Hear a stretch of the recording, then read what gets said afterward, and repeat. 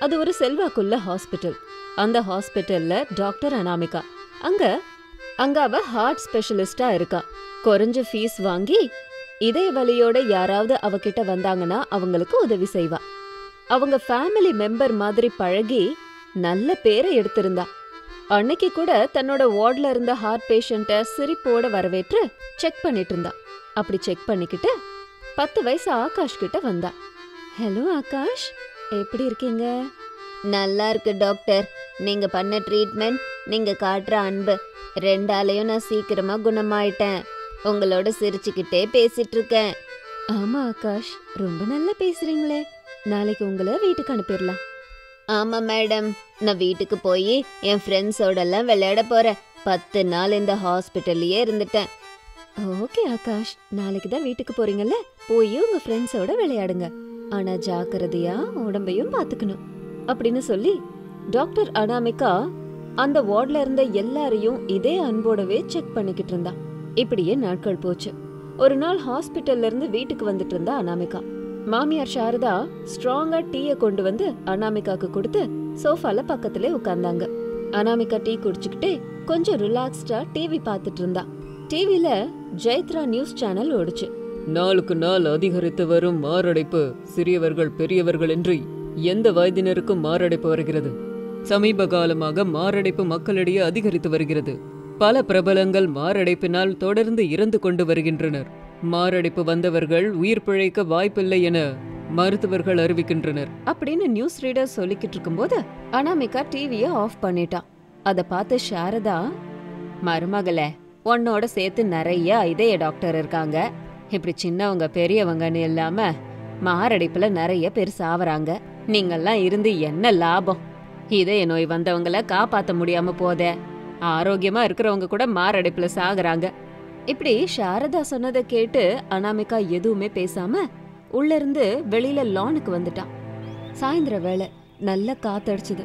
அந்த இடத்துல அனாமிகா தன்னோட மாமியார் சாரதா சொன்னதை பத்தி யோசிச்சுக்கிட்டு இருந்தா. அத்தை சொல்றது நிஜம்தான். என்னோட சேர்த்து ஏகப்பட்ட ஹார்ட் ஸ்பெஷலிஸ்ட் இருக்காங்க. ஆனா என்ன லாபம்? இதய நோயோட வர்றவங்கள காப்பாத்த முடியாம போகுதே. சமீப காலமா மாரடைப்புல நிறைய பேர் இறந்துட்டு வராங்க. அதுக்கு நம்ம ஏதாவது ஒன்று செய்யணும். ஆனா என்ன செய்யறது? அப்படின்னு யோசிச்சுட்டு இருந்த அனாமிகாவுக்கு ஹார்ட் கேம்ப் போட்டு இதய நோய் சம்பந்தப்பட்ட விழிப்புணர்வை ஏற்படுத்தணும்னு ஒரு யோசனை நினைச்சா எஸ் இது நல்ல ஐடியா ஒரு ஆம்புலன்ஸ ரெண்ட் எடுத்துட்டு ஊர் ஊரா திரிஞ்சு ஹார்ட் கேம்ப் போட்டு இதய நோய் சம்பந்தமா அது எப்படி வரும்? வராம இருக்கிறதுக்கு என்னெல்லாம் செய்யணும்னு சொல்லி விழிப்புணர்வை ஏற்படுத்தணும். அப்படி நினைச்சு மறுநாள் டாக்டர் அனாமிகா பூஷனுக்கு கால் பண்ணினாங்க. டாக்டர் அனாமிகா இது என்ன கனவா நிஜமா? நானே கூப்பிட்டாலும் இப்ப நான் பிஸியா இருக்கேன். அப்புறமா பேசுறேன். ஏதாவது முக்கியமான விஷயம் இருந்ததுன்னா எஸ்எம்எஸ் பண்ணுங்கன்னு சொல்ற அனாமிகாவா? ஏன் முன்னாடி நிக்கிறது? ஆமா டாக்டர். நான் தான் சமீப காலமா சின்னவங்க பெரியவங்கன்னு இல்லாம நிறைய பேரு ஹார்ட் அட்டாக்கால இறந்து போறாங்க. ஆமா அனாமிகா. நியூஸ் பார்க்கும்போது எனக்கு கூட வருத்தமா தான் இருந்தது. ஆனா நம்மளால என்ன பண்ண முடியும்? பண்ண முடியும் சார் ஒவ்வொரு ஊர்லயும் ஒவ்வொரு நாள் நம்ம ஹார்ட் கேம்பெயின் பண்ணலாம் சார் அதுல அவங்களுக்கு நம்ம விழிப்புணர்வை ஏற்படுத்தலாம். ஹார்ட் பேஷண்ட்ஸை நோட் பண்ணி அவங்களுக்கு முன் ஜாக்கிரதையா என்னென்ன பண்ணணும்னு எடுத்து சொல்லலாம். இங்க பாருமா நீ என்ன பண்ணாலும் ஏது பண்ணாலும் என்னோட ஃபுல் சப்போர்ட் உனக்கு இருக்கு. உனக்கு நல்ல பேர் வந்தா எனக்கு வந்த மாதிரி. நம்ம ஹாஸ்பிட்டலுக்கே வந்த மாதிரி. உனக்கு என்ன வேணுமோ நீ எடுத்துக்கோ. எங்க போகணுமோ தாராளமா போ. தேங்க்யூ சார் அப்படின்னு சொல்லி அந்த ஹாஸ்பிட்டலோட ஆம்புலன்ஸ் எடுத்துக்கிட்டு வீட்டுக்கு வந்தா அனாமிகா. ரெண்டு பேக்கோட மாமியார் சாரதா ரெடியா இருந்தாங்க. ரெண்டு பேரும் ஆம்புலன்ஸ்ல ஏறினாங்க. கொஞ்ச நேரம் போனதும் ஒரு கிராமத்துக்குள்ள வந்தாங்க. அந்த ஊர் பெரிய மனுஷனை பார்த்து எதுக்காக வந்திருக்கோன்னு விவரத்தை சொன்னாங்க. நீங்க நல்ல சேவை தான் செய்யறீங்கம்மா அது கடவுள் உங்களை காப்பாத்துட்டோம். நாளைக்கே ஊர் மக்கள் கிட்ட சொல்லிடுறேன். நீங்க எங்க வீட்லயே தங்கி ஏற்பாடு பண்ணுங்க. அப்படின்னு சொல்லி அவங்க வீட்டு வேலைக்காரங்கள ஊர் முழுக்க அனுப்பி ஃப்ரீயா இதய விழிப்புணர்வை ஏற்படுத்துறாங்க செக் பண்றாங்கன்னு சொல்ல சொன்னாரு. அந்த வேலைக்காரன் ஊர் முழுக்க போய் விஷயத்த சொன்னான். மறுநாளே அந்த ஊர் மக்கள் ஊர் தலைவர்கிட்ட வந்தாங்க.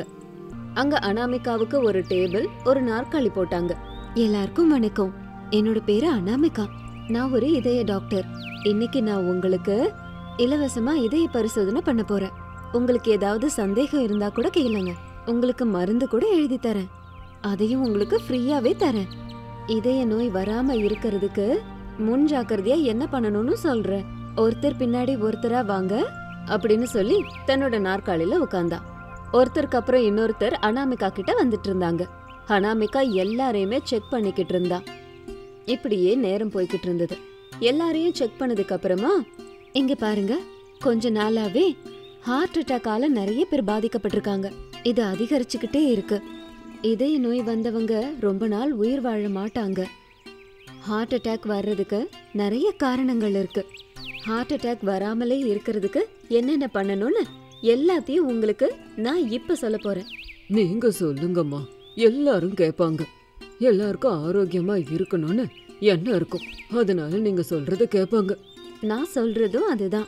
ஒவ்வொருத்தரும் காலையில எழுந்திருச்சு தியானம் பண்ணணும். பீடி சிகரெட் தண்ணி இது எதுவும் கூடாது. பான் பராக்கு கூட கூடாது. முக்கியமா ஏதாவது விஷயத்த நினைச்சு கவலைப்படக்கூடாது. ஷாக்கிங்கான விஷயத்த கேட்காதீங்க. அதிகமான ஷாக்கால ஹார்ட் அட்டாக் உடனே வர வாய்ப்பு இருக்கு. அதனால அதை தவிர்த்துருங்க. அதிகமா டென்ஷனும் ஆகக்கூடாது. அப்படின்னு சொன்னா அனாமிகா. இது எல்லாத்தையும் கேட்டு எல்லாரும் கை தட்டிக்கிட்டு இருந்தாங்க. நம்ம இதயம் ஆரோக்கியமா இருந்தா தானே நம்ம கூட ஆரோக்கியமா இருக்க முடியும்? அதுதான் எல்லா வேலையும் செய்யுது. அப்படிப்பட்ட இதயத்தை நம்ம ஆரோக்கியமா வச்சுக்கணும் இல்லையா? இதயம் நல்லா இருக்கணும். சுறுசுறுப்பா வேலை செய்யணும்னா கீரை மீன் மாதுளை பழங்கள் திராட்சை பழங்கள். பருப்பு வகைகள் நம்ம பாரம்பரிய உணவு. இது எல்லாத்தையும் தவறாம எடுத்துக்கிட்டாலே போதும்.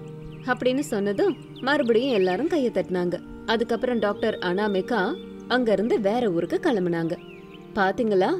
டாக்டர் அனாமிகா செஞ்சுட்டு இருக்க சேவைய? இதே மாதிரி இன்னொரு ஸ்டோரியோட உங்களை மீட் பண்றேன். பாய்.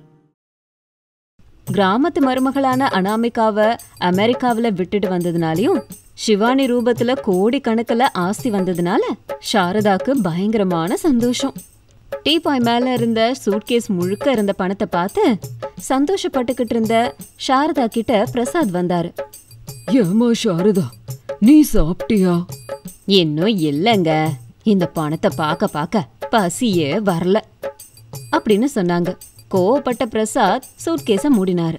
சாரதா கண்ணை முட்டை முட்டையா ஆக்கி கோபமா பிரசாத பார்த்தாங்க. கணவன் பிரசாத் கொஞ்சம் கூட பயப்படாம என்ன அனகொண்டா மாதிரி பாக்குற? முழுங்க போறியா இல்லைன்னா போலீஸ் ஸ்டேஷன் போய் மருமக மிஸ்ஸிங்னு சொல்ல போறியா? அப்படின்னு சொன்ன உடனேயே சாரதா நார்மல் ஆனாங்க. வராத சிரிப்பை வரவழைச்சுக்கிட்டு கோபமும் இல்ல ஒன்னும் இல்ல. ஆமா என்ன சொல்ல வரீங்க? குழம்புல காரம் இல்ல.